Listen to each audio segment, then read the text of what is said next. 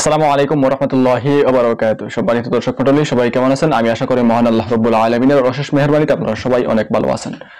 তো আলহামদুলিল্লাহ, আজকে আপনাদের সামনে আমি খুব গুরুত্বপূর্ণ একটি ভিডিও নিয়ে উপস্থিত হয়েছি। ইনশাল্লাহ এই ভিডিওটি আপনাদের অত্যন্ত উপকারে আসবে। বিশেষ করে যারা বৈধ পন্থার জন্য এরকম আমল করবেন। বেশিরভাগ মানুষ জাদুটনা করে বিচ্ছেদের জন্য, অর্থাৎ মনে করেন শুধু অবৈধ কাজের বেলায় ব্যবহার করে। ঠিক আছে? তাই বিচ্ছেদের তদবির করতে হলে অবশ্যই বুঝে শুনে তদবির করতে হবে। অথবা মনে করেন একজন দুই সতীনের সংসার চলতেছে, এখন এক সতীন আরেক সতীনকে সরানোর জন্য এরকম বিচ্ছেদের তদবির করানো, এটাও কিন্তু এক প্রকার অবৈধ কাজ, ঠিক আছে? কারণ কোরআন শরীফ একটা পুরুষকে এজাজত দিয়েছে চার, চারটা বিয়ের। তবে এটাও আছে যে একটাও বিয়ে করতে পারবে না যদি আপনার সামর্থ্য না থাকে, রোজা রাখতে হবে, ঠিক আছে? এটা বুঝবেন না যে এখন পুরুষ হয়েছে কোরআন শরীফ বলে দিচ্ছে সবাই উন্মুক্ত বিয়ে বিয়ে করবেন। একটা চালানোর ক্ষমতা নাই আর আপনি আরেকটা করবেন। এরকম হলে তো আর হবে না পুরুষদের বেলায়। আর বিশেষ করে নারীদের বেলায় যেটা মনে করেন আপনার সতীন তাড়ানোর সতীন সুন্দর মতো চলতেছে, তার মধ্যে কোনো দোষ নাই। আপনি শুধু হিংসা জলে পুরো সারকার হয়ে যাচ্ছেন এখন চাইতেছেন ওরে সংসার থেকে তাড়িয়ে দেওয়ার জন্য। আপনি এসব করবেন, এসব হচ্ছে অবৈধ কাজ। আর যদি এরকম হয় যে আপনার সতীনের অত্যাচারে আপনি অতিষ্ঠিত, আপনি মাজলুম, তাহলে এটা করতে পারেন ইনশাল্লাহ ঠিক আছে?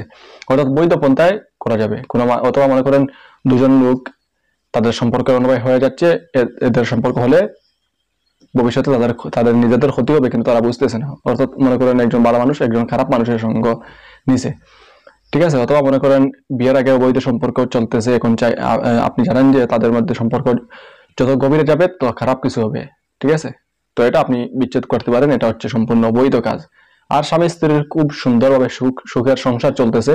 এখন আপনার সংসারে অশান্তি। এখন আপনি ওইটা যেহেতু আপনি অশান্তিতে চলতেছেন আর একজনে সুখ হবে, এটা তো আপনি মেনে নিতে পারতেছেন না, আপনি এটা করতে চান।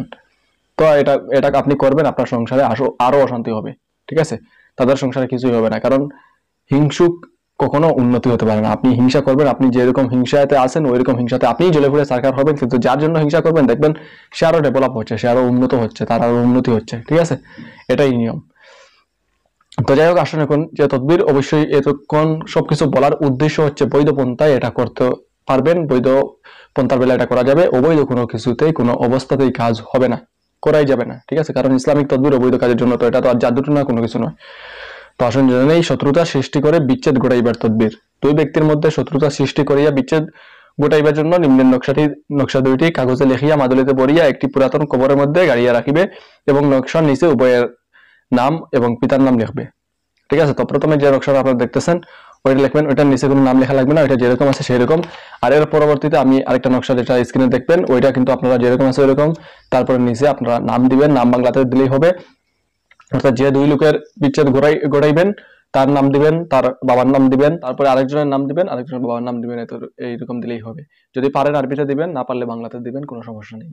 তবে পুরাতন কবরে ওইটা পুঁতে রাখতে হবে দুটি নকশা। যদি আপনি পুঁততে না পারেন তাইলে আপনি অন্য কাউকে দিয়ে পুতাইতে পারেন, তাও কোনো সমস্যা নেই। নিজে লিখতে না পারলে অন্য কাউকে দিয়ে লেখাইতে পারেন, কোনো সমস্যা নেই। ইনশাল্লাহ কাজ হবে। ঠিক আছে? তো যাই হোক আবার বলতেছি, বৈধ পন্থায় এই কাজ করবেন ইনশাল্লাহ ফল পাবেন। তো পরবর্তী ভিডিও দেখার আমন্ত্রণ জানিয়ে বিদায় নিলাম আজকের মতো। সবাই ভালো থাকুন। আসসালামু আলাইকুম রহমতুল্লাহি বারকাত